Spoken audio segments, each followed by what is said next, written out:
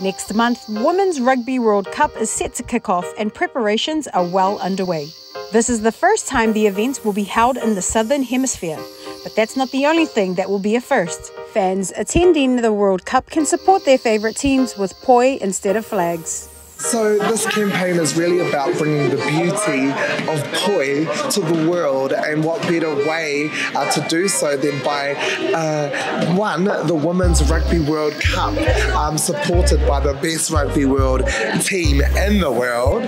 It's Poi Time is a unique initiative designed to encourage all Kiwis to participate, whether they're at the games or at home. Pere Wihongi is leading this campaign alongside well-known Kiwi celebrities and sports stars. Other than the amazing action that happens on the field, there's also going to be the poi action that happens in the crowd as well.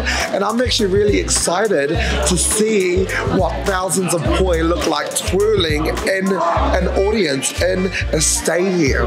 Um, but also, um, I I'm really confident and I really do believe that the poi could also visually help support our girls as they go out there to smash another year of the Rugby World Cup. All Black Patrick Tuipulotu and Blues forward Tom Robinson are among some of the rugby stars helping to kick this campaign into full swing. Black Ferns loose forward Charmaine McMenamin is looking forward to rugby fans weaving Māori culture with their beloved sport on a world stage.